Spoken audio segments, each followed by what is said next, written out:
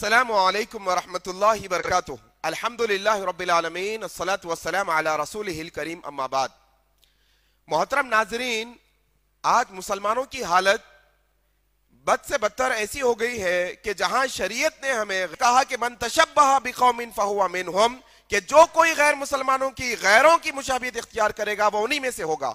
आज आप मामले को देखिए पतंगबाजी के मामले को उठा लीजिए सिर्फ़। लोग इसे खेल समझते हैं। ये खेल नहीं है। ये मजहबी त्यौहार है। इसको समझने की ज़रूरत है। पतंग पिलाना क्रिकेट जैसा खेल नहीं। पतंग पिलाना कोई और दूसरे खेल जैसा खेल नहीं। फुटबॉल जैसा खेल नहीं। बल्कि ये मजहबी त्यौहार है। हिंदुइज्म के अंदर, हिंदू भाइयों के अंदर एक ईद जो चौदह जनवरी को मनाई जाती है, ये ईद का नाम मकर संक्रांति है। जिसको बसंत कहते हैं, ये फ़सल की पहली फ़सल की पूजा, पहली फ़सल का खाना और इस दिन सूरज निकलता है तो इस सूरज से फ़ायदा उठाने के लिए ये पूजा करते हैं। इनका अकीदा है। और आज हम ये समझ रहे हैं कि खेल है।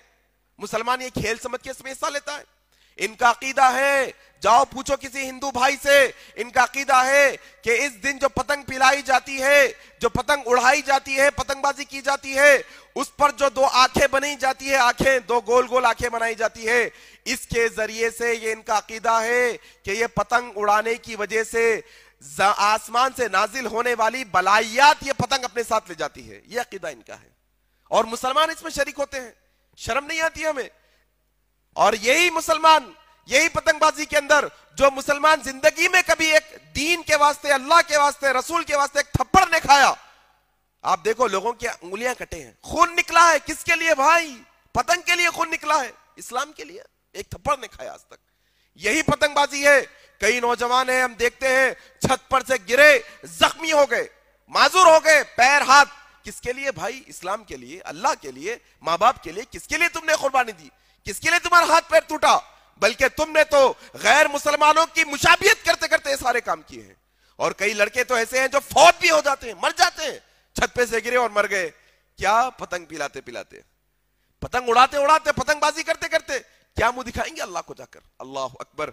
लोगों को तकलीफ़, परिंदों को तकलीफ़। कई परिंदे कट जाते हैं, मर जाते हैं, जख्मी हो जाते हैं। लोगों को तकलीफ़। इलेक्ट्रिक वायर्स में इनके धागे अटक जाते हैं, धागे अटक जाते हैं। ज़ोर से खींचते हैं वायर टूट गया, घर में बीपी का पेशेंट पड़ा है फ़ैन नहीं आ रहा है, गर्मी में है, अंधेरे में है, बच्चे रो रहे हैं लाइट चली गई, लोगों को तकलीफ़ इलेक्ट्रिक वायर्स में, धागा डाले खींच दिए। बड़े बड़े साउंड से डीजे लगाते हैं, मुसलमानों की बात कर रहा हूँ, मुसलमान। और इन्हें ख्याल नहीं होता, वक्त की बेजा बर्बादी बर्बादी बर्बादी वक्त की।